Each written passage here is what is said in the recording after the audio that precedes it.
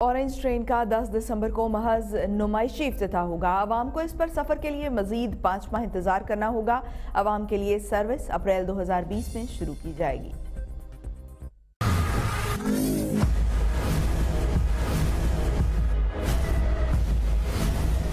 ذرائع کے مطابق دس دسمبر کو وزیر اعلیٰ عثمان بزدار ٹرین کے ستائیس کلومیٹر روٹ پر صرف نمائشی سفر کریں گے اور در حقیقت اس کا مقصد سپریم کورٹ کی اس منصوبے کو آپریشنل کرنے کے سلسلے میں مقرر کردہ جنوری دو ہزار بیس کی ڈیڈ لائن سے قبل ٹرین کو چلتے ہوئے دیکھنا ہے۔ ذرائع کے مطابق منصوبے کے تعمیراتی ڈھانچے، بجلی کے نظام اور دیگر حصوں کا سیفٹی آڈٹ تحال مکمل نہیں کیا گیا۔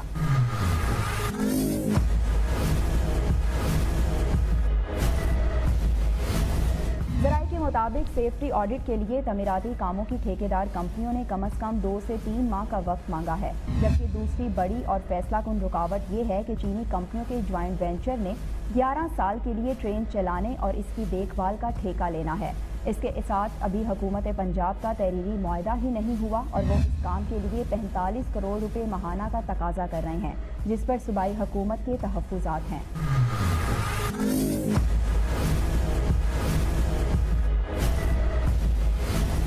پنجاب حکومت اور پروجیکٹ سے منسلک ذرائع کام کی رفتار تیز ترین کرنے کی شرط پر عوام کے لیے ٹرین چلنے کی تاریخ اپریل یا مئی دو ہزار بیس مقرر کرنے کے لیے پر امید ہیں ماس ٹرانزٹ اتھارٹی کے ذریعے یہ انکشاف بھی ظاہر کیا ہے کہ منصوبے میں تاخیر کے باعث اس کی لاگت میں تقریباً پندرہ ارب روپے کا اضافہ ہو چکا ہے، جبکہ روپے کی قدر گرنے سے اس کی لاگت ایک سو ساٹھ ارب روپے سے بڑھ کر تقریباً دو سو پچاس ارب روپے تک پہنچ گئی ہے۔ ٹرین کے ستائیس کلومیٹر یک طرفہ سفر کے لیے کرایہ تیس سے چالیس روپے مقرر کرنے کی تجویز دے